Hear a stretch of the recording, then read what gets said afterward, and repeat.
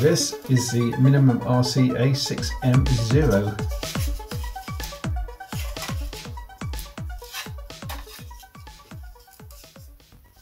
Q series. Q standing for cute. Don't know. Anyway, it all looks pretty straightforward. So we need this one.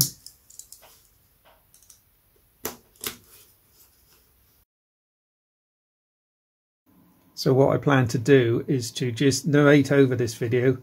I'm going to speed it up and slow it down when necessary to point out any um, finer details, you know, only in a couple of places. Um, so if you want more detail on how to build this model, check out my PZL 106 crop duster video, which does a blow-by-blow -blow account. It's exactly the same construction as this one. So starting here, we're starting with the chassis and fit in the motor. Um, I use exclusively CA glue for the plywood parts, plywood to plywood. Get out all the little servos, connect up your receiver, get everything, all the horns on, and make sure everything works and note which way the orientation goes. And referring to the build instructions, uh, which are on the uh, website, very carefully put the servos in really carefully examining because once it's in there's no going back because they're all built in. So be absolutely certain you've got it all right. When you glue the side on the servo horn should poke out the little slots in the side of the fuselage. Offer it up before you put the glue on to make sure they do. Here's the fuselage top and bottom foam pieces starting with the top one uh, you can crease the foam around the edge of a desk or a pencil just to get it to curve a little bit. If you apply the foam to foam glue, the UFO glue they supply, uh, push the side on, take it off, let it dry for a few seconds, and when you put it back on, it's like contact glue. Here I've got little bits of masking tape to hold it in place. That's the battery hatch. You don't glue all of the battery hatch, notice. And then when you're happy, offer up the other side. When it fits nicely, run the glue around and push it together. You can use little bits of masking tape to hold it in place if necessary. The sticky decals go on next. If you don't press them too hard, you can reposition them by peeling off and sticking them on again. Now, when you come to do the wing and control surfaces, you have to score through using one of the pieces of carbon rod they give you. Very gently go through the score line several times and you'll find that you can hinge control surface also on the hinge line of the wing. Just to give it that wing section. Offer it in when you're happy this is what I did. I just put two little score lines top and bottom of the wing because I like to put pin pricks where the foam to printed surface join so as it joins uh, glues really well. Here I'm just putting little pin pricks all the way up where between the two marks that I made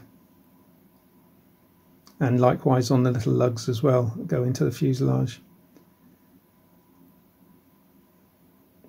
Score the elevator and rudder exactly the same.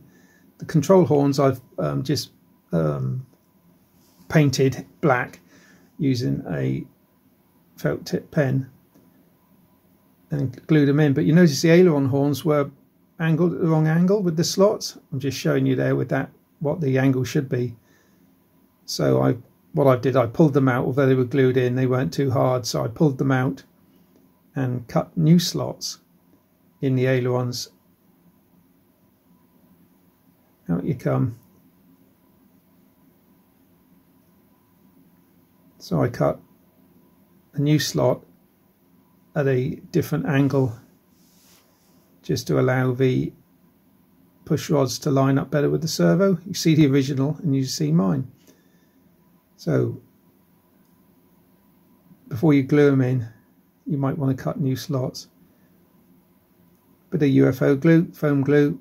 I'll put a glue in the aileron hole just to fill it up a bit. Original hole. Uh, here I am pin pricking the tail plane, having marked it exactly the same way as I did with the wing. And here I am working on the wing again, running some UFO glue down along uh, over the tabs and then push it in place. You can squeeze the tabs down slightly between your thumb and forefinger just to get them go easily. They'll expand out again. I also ran a little bit of glue there on the plywood part as well. Bit of masking tape to hold it and then work on the other side. Do exactly the same thing. At this stage I actually did let it dry for a little while before I continued working on it. Uh, making up the wheel assemblies, there's some little white stickers to go on the wheel hubs to make them nice, bend over the end of the wire. There's a little brass insert as well to go inside the wheel. If you don't put that in, you can't do what I'm doing there, and that's crushing it down a little bit. Make sure it runs freely, and when you've got them done, those little um, white squares is what holds the wheel to the bottom of the wing. Uh, I didn't use the UFO glue, I mixed up epoxy because the, the UFO glue isn't going to hold it that well. Make up the push rods. Put a little pin through the plywood horn before you attempt while while you still got them on the ground. It just the holes are so small uh, I had to just file the end of burr off of the end of the wire on the push rods because they'd just been snipped off. Push them through the horn at the back and then rock them forward and clip them onto the, each servo each side.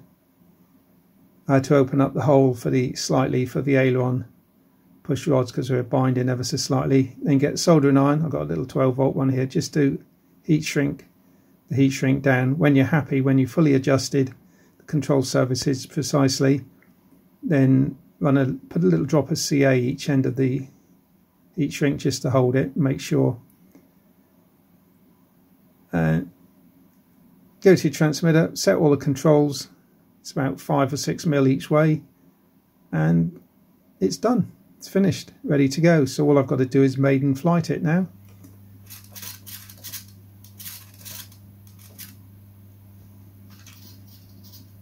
There we go.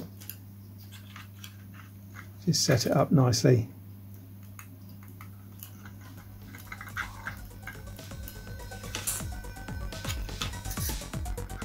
Thanks for watching. If you want to see the maiden flight, hit the subscribe button and then take a nice photograph of the finished plane in front of a nice backdrop, like this nice Pacific Ocean type backdrop. And uh, the video is finished. Cheers guys, see you at the maiden.